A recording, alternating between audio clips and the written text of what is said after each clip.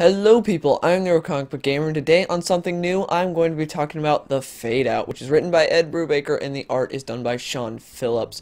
Now this book I had heard nothing about it, I knew nothing about it, like it, unlike the other books which I had seen a bunch of people saying these books are awesome, this book I heard nothing about it but it was a new release on Amazon, it just came out on like August 1st I think, well you know the trade anyways, and so I was like okay it's done by Ed Brubaker, he had a great run on Captain America and so I was excited for it. And the cover is awesome. Look at that. The bloody typewriter. It's great. I love it. And uh, yeah, so I'm going to be getting into spoilers for this book. So if you haven't read it, beware. I would suggest to go and read it because it is worth the read. But anyways, let's get into it. So one of the things I really love about this book that I think all indie books should do is it gives you a character roster.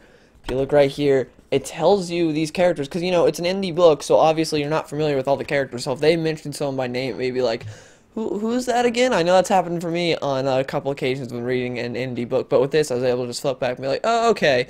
And so, yeah, this book takes place in the late 40s, and it's a, a really cool, like, a study sort of of show business and like sort of the darker side of it. And there are a lot of mentions of some old movie stars. I grew up watching a ton of old movies because that's just what my parents showed me. I love bob hope. He's my favorite comedian of all time. Like son of paleface may very well be my favorite comedy. It's great. And like you have a ton of different movie stars that are mentioned or you just see pictures of them like clark, clark gable even makes an appearance in this. I thought that was really cool. He's only in it for like two seconds. But yeah it's really cool seeing all these mentions of these old movie stars that I grew up watching, and I loved seeing that. They just nail the feel of the time setting. Like, everyone's smoking just like they did back then. Like, this, the fashion works. The art is fantastic, by the way.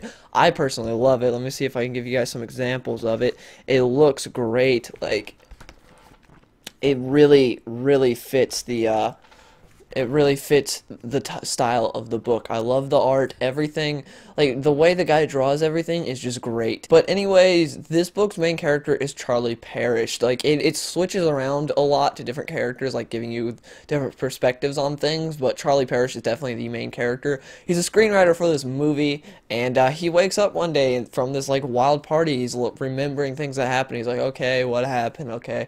Remember some stuff. Then he sees lipstick on a mirror, and he's like, what girl was here? What's going on? So then he goes into, like, a bedroom or a living room, I don't remember, whatever, and then he sees his girl just dead, strangled, and he's like, who killed her? Did I do it? No, no. He kind of immediately rules himself out and he just leaves. He's like, "Yep, I was never here." He he takes like he takes a rag and he wipes everything off. His fingerprints is like, "Yep, I was never here. This lady is dead for some reason."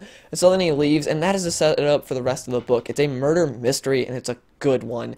And uh, yeah, so throughout the book, you're just seeing all these different things being pieced together. Like he's remembering different stuff because he's blackout drunk, and you see a lot of different elements of like what happens in this world. For instance, Charlie's a screenwriter, but he can't write for crap. Like, people think he's a great screenwriter, but it turns out he's had a writer's block for a while now. But he has a buddy who uh, who like gets drunk all the time. Like his wife uh, always calls Charlie and says, "Please go and bring him home. He's just he's drunk out of his mind." And so they have a partnership. So what happens is Charlie goes and gets the jobs. You know, he gets hired because he's not known as some blackout drunk. And so yeah, he gets the jobs. He's good at typing, but the other guy is good at writing, but he can't use a typewriter for crap or anything. He's terrible, but he's a good writer. So they have a writer partnership to where Charlie gets his jobs and he types everything, but the other guy actually writes uh, all the script and everything. So that's how that works. I thought that was an interesting concept, seeing that this guy's a well well-known screenwriter, but he can't actually write, and he has to rely on his drunk buddy to do everything.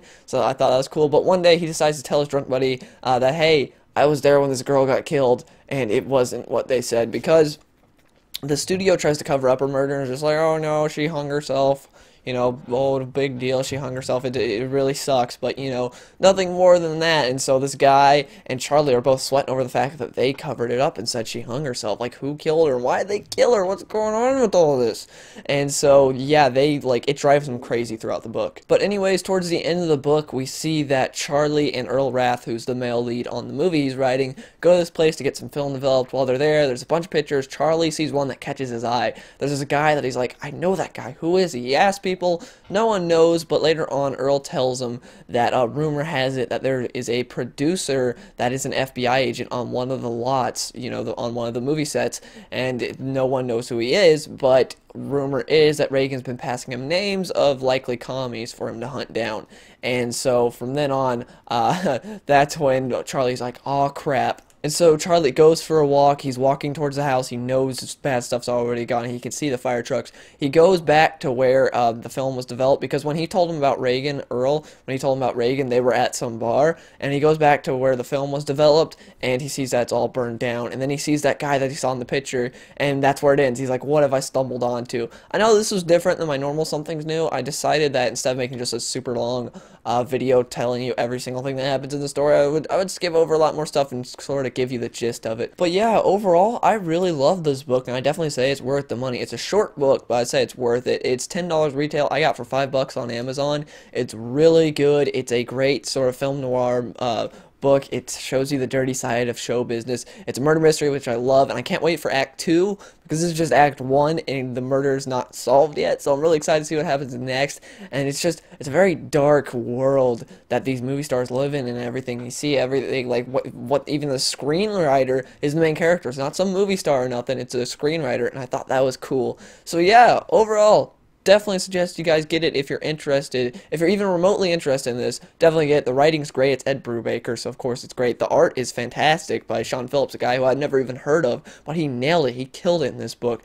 So yeah, those are my final thoughts on uh, Fade Out. I forgot the name of it for a second. But the Fade Out, yeah, it's a great book. It's cheap and uh, it's an image book, so of course it feels great in your hands. Like all image books, they just like the feeling of holding an image book. I, if you haven't held one, just go and touch an image book. I know that sounds weird, but you know what I mean if you've read it. Like, they feel different than other uh, comics. So, yeah, those are my final thoughts on The Fade Out. It's a great book. Definitely read it. So, yeah, I don't know what I'm going to be reading next for um, something new. I'll figure something out. But, yeah, see you guys on the next one. Thank you for watching. If you enjoyed this video, please give it a like.